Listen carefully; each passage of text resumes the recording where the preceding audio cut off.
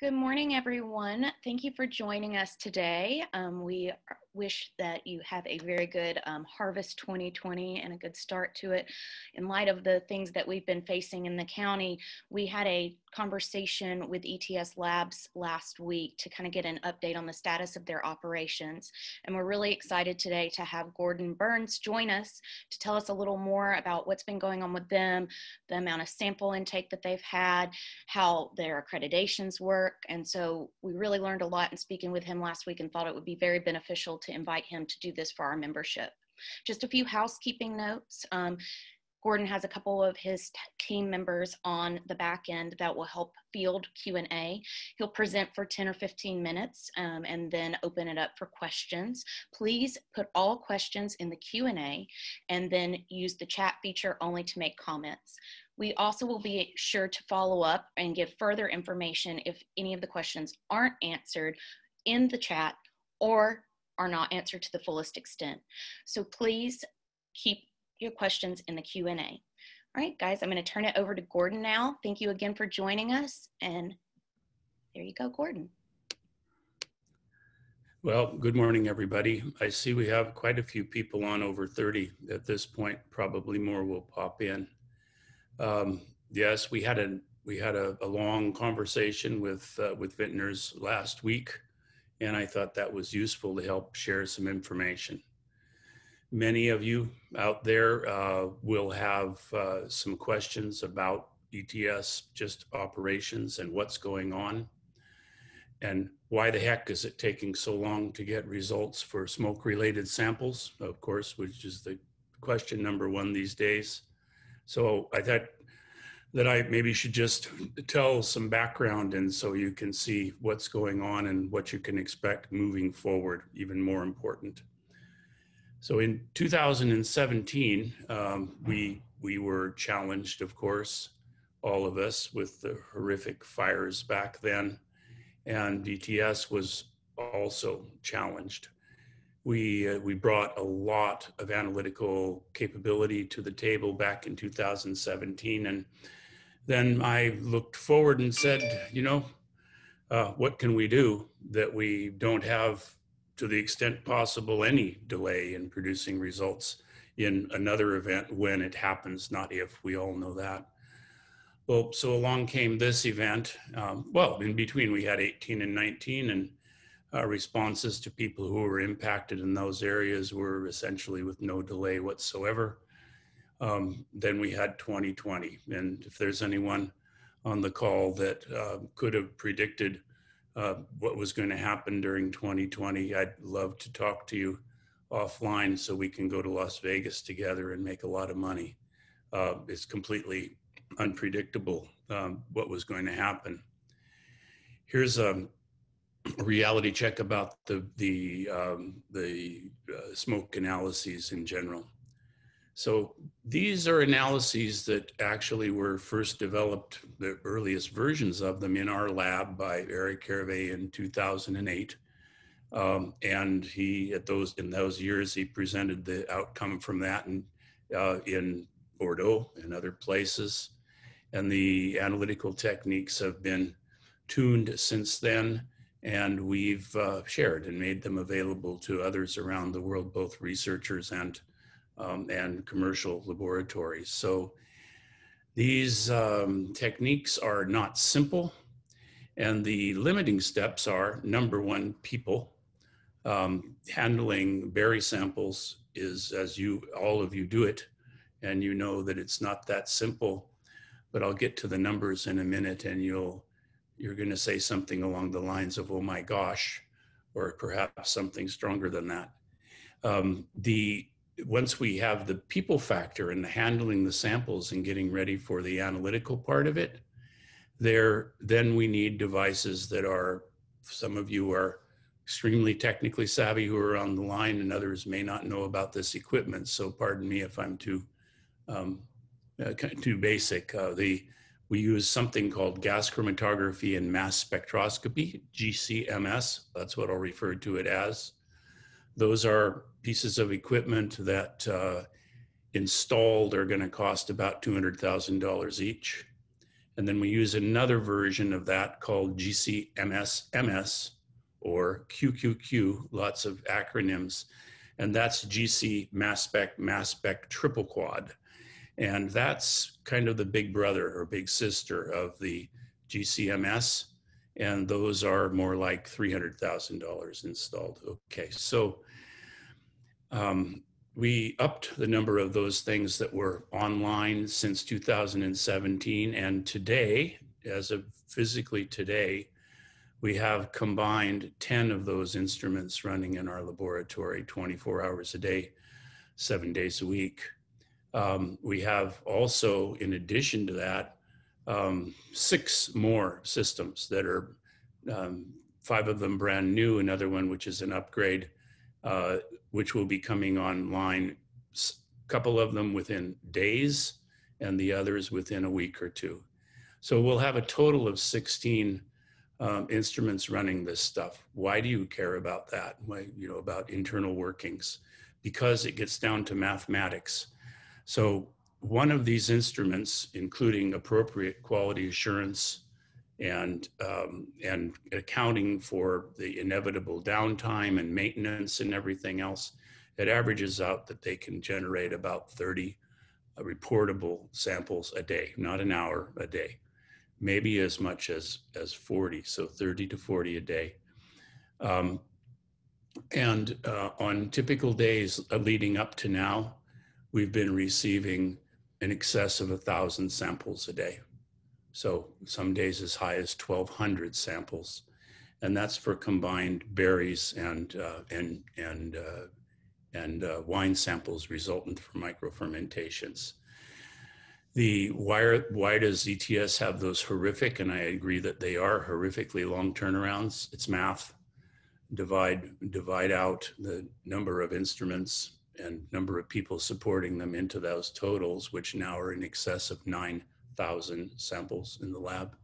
And you see why the uh, backlog is there. So I don't, I hope this doesn't sound defensive. It's meant to be able to help you understand what to predict for tomorrow and the next day because we're not through this harvest at all. Um, the, uh, these are realistic limits. What else are we doing? Well, We've uh, we've worked with um, um, three to four external other laboratories to help them understand and try to try at least to know that their results might correlate with what we would produce in order to bring additional capacity. Um, some of those laboratories can bring one instrument to play. Some can bring two others maybe three or four. So you see, the those are those are valuable, all those collaborations, but they're not going to change the um, the practical reality of the turnaround times. Unfortunately, even with them fully in play, and I've had calls from two of them to say, "Well, you know, we're at capacity now. Can you accept any more samples, Gordon?" So the combined efforts of uh, a number of laboratories uh, simply the, there's more water than there is bucket in this situation. Why is that? Why is it so much different than 2017? Well, maybe some of you on the call can answer that better than I can. I'm probably so. Uh, but my, my view of that today is that it's largely driven by the crop insurance issue um, where in 2017 the insurers were uh, were essentially hadn't figured it out yet, and or they had fairly fairly high limits of what were was acceptable in order to enable crop insurance to become activated. Um, and this year, uh, the considerably different, where people are being told that these this is my understanding, ready to be corrected that anything greater than 0.5, which is currently our minimum reportable concentration for berries, is, uh, is a uh, cause for claim coupled with a statement from the winery that they can't make wine from that. And then I've heard repeatedly that the insurance companies are saying, look, you don't have to have the actual number today, but you have to have your sample in the lab in the queue if you want to uh, invoke coverage down the road. So therefore, far more than half of those samples that are in the lab are in the queue because of this crop insurance issue. They need a number down the road. Of course, they'd love it today, but they need it down the road. And then that leaves the other half of the samples where people are trying to make um, real time practical decisions that relate to this harvest and what they might do differently than what they're doing um, what they're doing today and what they're going to do with all that fruit on the vine from one perspective or another or how they're going to make wine from that from those. And that's and that's a, a huge problem. I wish i had a wand that i could wave at that queue and detect which ones were there for the purposes of crop insurance and which were decision making samples. And if i could i would but i don't have that wand. And it uh, uh, means that it results in a slower turnaround for everybody. Yeah, so that's kind of a kind of a background. Um, as to the analysis that we're we're actually offering today, what are the capabilities at ETS? Well, those of you who followed this thing closely know that that um, we the sort of the most inclusive set of what the knowledge is today, and it may very well be different by next year, would suggest that you should run um, a, an analysis that looks at the individual glycosylated, which means smoke uh, sugar attached compounds. Those are the ones that are not um, sensorily active today, predominantly. And that uses a tool called LCMSMS, more acronym NIMS. Um, you too can have two of them for a million too. And uh, that, and we have this analysis. We've had it for a year and a half or more. We've built what we believe to be a um, an extraordinarily rugged methodology, but there are two limitations, actually three, that come into play, which is why we're not we're not offering it today. And the, the, these limitations are the following for those who are interested. Um, the first limitation is that analytical standards for the compounds that we want to report, there are six of them, uh, do not exist with one exception. And the what are known as internal standards that one needs to use to run this LCMSMS also today do not exist. And I mean across the globe anywhere um, they can be made, and they are being made due to an initiative involving Wine Institute, an organization that I participate in called FIVS internationally, and some others. And they're being produced as we speak, but they didn't exist before. When these compounds are available, um, it will mean that for the first time ever, that laboratories around the world, both um, commercial laboratories, industry laboratories, and academia will be able to use the same compounds to, to do their calibration. Because they, they aren't commercially available today, these standards, uh, the results may, may agree in pattern from one lab to another, but they won't agree quantitatively. And that means to draw any conclusions using the learning experience of other labs is today impossible. When will this happen? Not in time for this event. Uh, within months, certainly, those calibrations will be in place in our lab, and I know in uh, several other industry labs. And then we'll, um, of course, be certain that all of academia knows that they're available as well. Okay, these are the glycosylated compounds. A second reason that they're not on offer uh, right now during this event is that all grapes have all of these glycosylated compounds natively at some co concentration.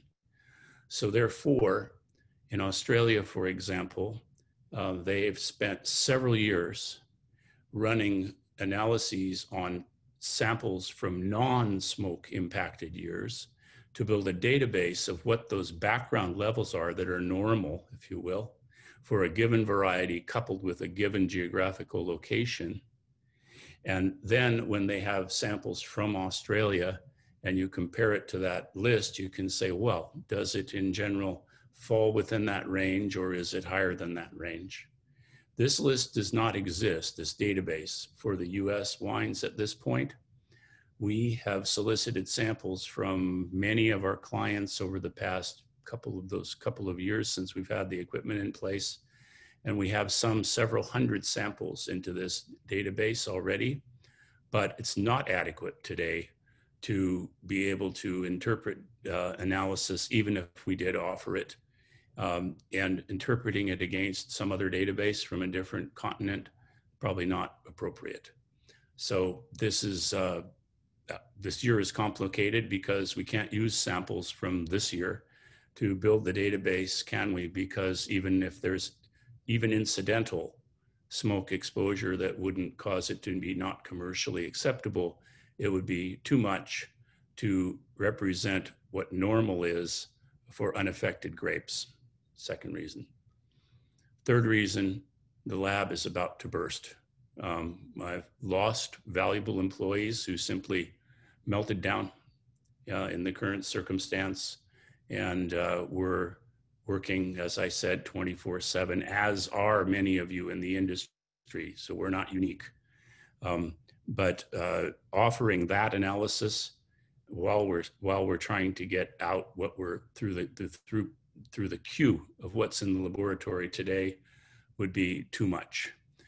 Um, a second analysis that that you would might ask about is well, I would like to look at the volatile compounds, among two, two of which are guaiacol and 4-methyl guaiacol, but I'd like to look at a more comprehensive list. Yes, we have that analysis. We are able to do that. That's run on the device that I referred to as the GCMS QQQ. And we, we can do that, but this last caveat applies to that one. Doing it would appreciably slow down the throughput for the decision-making compounds, guaiacol and 4-methyl guaiacol for this year. And in fact, if you were to phone us up, and I believe um, that if we couldn't answer the question, I don't know of anyone else who could. Uh, if you said, Gordon, I got all these extended other markers that are not guaiacol and 4-methyl guaiacol, and you said to me or to Eric, what do those mean? He'd say, we don't know. Um, because people would love to have those numbers and use them as it relates to sensory perhaps, but for decision-making tools right now, um, not. So this is a long explanation to tell you that what we, what we are offering today are two different analyses. We, uh, which is the Berry analysis Today, if they're received, I didn't look. We try to keep it up to date on the front of the website uh, in the disaster section, basically. And uh, I think it's six weeks out for a result, just because of that math that I was talking about. And on the on wine samples is the other one we offer as a result of microfermentations or otherwise, or real fermentations. And those are not as bad uh, but probably now approaching four weeks out. Um, we have almost no room to do any sliding around in the queue or reprioritization. Some fella told me on the phone yesterday, half jokingly, well, I tried to bribe your folks. And um, I'm sorry, we have higher ethics than that to be uh, sliding people around based on money. And this isn't about money for us. I I've had some of my best friends say to me, well, gosh, Gordon, at least ETS is cleaning up and making money as a result of this thing. Well, I, you know, I, I don't wish it were true and it's not true. In fact, we'll be down over a million dollars as a result of this, this thing because of analyses we didn't do on the instruments that are running smoke. And that's not to mention the additional nearly now $2 million of additional equipment we purchased for nothing other than smoke. Um, just so we have a chance to answer that. Um, that that's the situation. Uh, the turnaround times are are now, which is another new feature for the smoke compounds only, are on your client portal if you log in. For the, excuse me, um, on your client portal, you'll see a due date. That due date is updated um, well, daily, and you could see it get, and I hope you will, get shorter and shorter as the additional instruments come online. I predict that's what's going to happen. You can also see it vacillate and go the other direction, sometimes temporarily. If an instrument goes down or needs maintenance or something else happens, it can certainly get longer as well. Excuse me. okay. Um, maybe that's a, a pretty complete um, answer. The, the other most frequently asked question is, well, Gordon, can't you can't you share what you found um, so that we can we can draw conclusions? Well, sharing data, um, of course, is valuable, and we uh, we certainly hope that folks, as it's appropriate, will share with one another within whatever groups they wish. But two things on that. First one is we don't own the data. That's our position. The data is owned by whomever submitted the sample and paid for it. It's not for us to decide how their data is used. Second part of that is that um, is that people assume we have more information than we do. If you think about it, when samples come into our lab, um, we might we know who the client is and where their mailing address is, uh, but we might get samples labeled A or C or rows two to four, tank 15 or something like that. So in many, many cases, we don't have, we don't know what the variety is, let alone where the location is or the combination of those two things. So well, folks often think we know more about what the results are that we have than we, than we do. So, but I, I do, I do um, think that it's enormously valuable for people perhaps within a, a given um, area to share it among themselves. I think we would, could all agree though, that a bunch of numbers out of context, if they were shared out with uh, folks without the appropriate background, could be very damaging if they were used the wrong way in communications or in the press. Okay, um, I think that's a pretty good summary. I don't think I've forgotten any any significantly large thing. And even though my voice is kind of cracking from there's plenty of smoke where I'm sitting today, I'll try to go through the the questions if they're here as they appear. Um, put them in the Q&A and as as we heard up front, if there are ones that we can't get to today, uh, we'll be glad to try to capture those and respond to you individually um, if you are not anonymous, of course, uh, and uh, in, in, as soon as we can. First one I have uh, is if we send the wine from previous vintages to get the bound compounds analyzed, will that give our winery a baseline for our vineyard? And the answer would be yes, that would be valuable. Uh, that would be valuable information. Also, to, I didn't quite explain this clearly, to a, um, to a large extent, um, building the baseline for the bound compounds, for the glycosylated compounds, is, a, is an effort that ETS is undertaking without asking for any compensation. So should the samples that you're going to submit um, be useful in our judgment, our mutual judgment, for building that database, uh, we, and as far as I know today, uh, we, there wouldn't be any charge for doing those. Uh, but you're, of course, you're would be agreeing that you're using those uh, for the purpose of building the database, and in fact, then to benefit a, if you will, greater good. Yep. There's another question. Uh, can you speak to the legal scenario of rejecting fruit before we have any results on smoke taint testing? Nope. Uh, I don't know. Um, this, uh, and I wish I knew more. Anyone who can help me understand that better, anyone who has um, friends in the in the crop insurance industry, though I've spoken uh, and know now the people from the state that run that program, but the uh, the individual insurance companies, I do not know what they're doing. And I would like to know more, I'd be just so we could help with communicating with our clients. I spoke with um, companies uh, over the past couple years who um, are interested in expanding their coverage of of of uh, smoke impact. I like the word smoke impact better than smoke taint. Just saying. And um, and they those people also I don't know what's happening, so I'm blind on that one. Um, I just the last last question here. That's just three of them is is is a thanks and well thanks to all of you. Um, I hope it wasn't too long. Uh, I hope it didn't sound that we were being, we were apologizing. We don't really feel that we need to apologize quite, uh, but I think we're, we're all in a disaster. Um, each of you probably has a better name for it. I call it the zombie apocalypse today. And we're, uh, we're, we're all in it together. Um, oh, there's one more popped up and, that, and it's a good one. Well, I'll be, and it's, could you include a question with the sample submission form asking if data could be released to Vintners or Growers Association?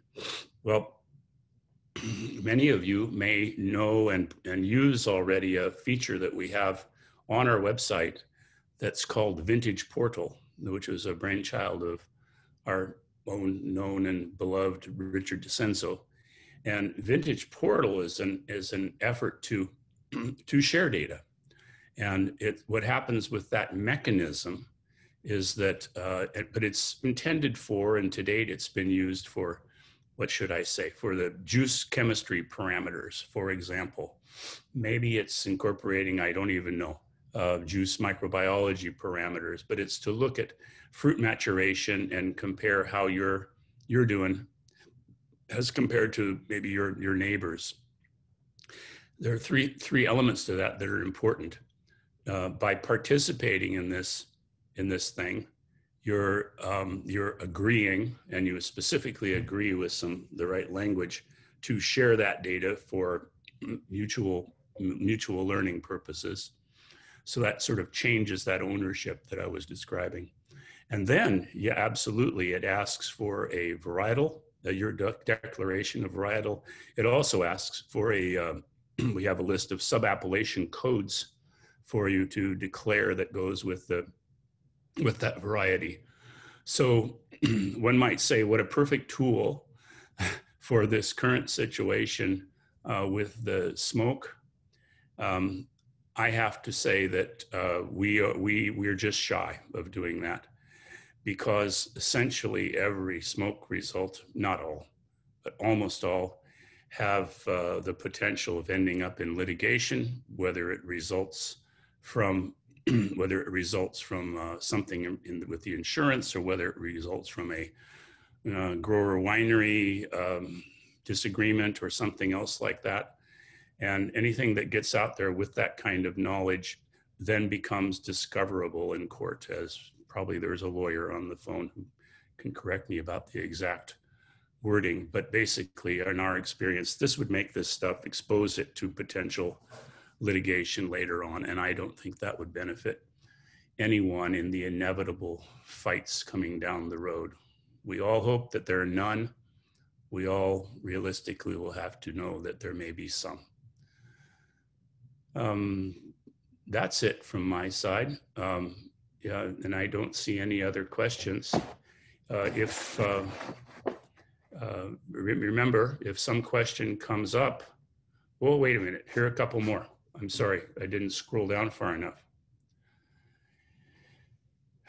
Do I have an opinion of whether there are good solutions to remove them? No, that's another no. Uh, we're certainly aware that there are many um, that there are many uh, of uh, people out there offering things we have definitely the tools and that glycosylated marker that we talked about uh, is one of an important tools to know whether these solutions are working. People talk about treatments happening and then it getting better and then having it come back. Uh, I've heard this multiple times. Well, tools are in place, the glycosylated thing. But if they came into the lab today, of course, for those reasons I discussed, we couldn't accept them, but a little later, yes. Uh, do any of the big wine companies have the testing equipment? they do. Nothing like the numbers uh, that we have, but they certainly do. Um, I know that, uh, and and and they're and they have very competent laboratories. They all will benefit from what I described earlier, especially on the glycosylated things, of having the availability of standards. And these companies are are undoubtedly running uh, either the the the panel that we do, the guaiacol and 4-methyl guaiacol, and or the extended one. Um, a thanks uh, saying that I was eloquent. Well, I wouldn't say that about this complicated topic. And yeah, it's kind of hard to balance um, something this technical with not knowing the, the audience exactly.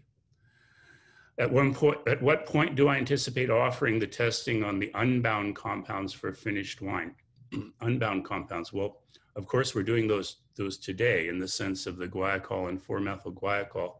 If we're talking about the uh, the extended one, I don't think uh, the question was, will it be in December? Um, I I hope not. I hope I hope that we should be um, uh, from underneath the water by earlier than that. Let's call it mid-November, but it, certainly it would be November before we could uh, attempt to do significant numbers of those expanded panels. Um, if a berry returns a reading of 1.2, how does that correlate to a microferment? Um, we have uh, uh, we have a some interpretation. We call them interpretation guidelines. Okay, guidelines based upon previous events may not apply to this year. I don't know. With all those caveats, based on our experiences, and I'd be pleased to um, share that. Um, it, it, will be mentioned again, but if you have uh, other specific questions like this, uh, in order to not um, back up all of our other communications, maybe use connect, connect at etslabs.com, uh, and uh, well, we can share the, uh, uh, those, these guidelines. Okay, um, yep, I think uh, that's a little over half an hour, and I, I hope that was useful for everybody. And of course, we're, we're here to help in any way we can. Use Connect and we can respond. Thank you, Gordon. We really appreciate everything your team is doing, and we're very excited to be able to provide this kind of status update for ETS Labs to our membership. If you do have any follow-up questions, um, please let me know directly at jesslyn at sonomawine.com. I also will get this recording out to all those that attended today. So thank you all. Have a good rest of your day and good luck with the rest of Harvest 2020.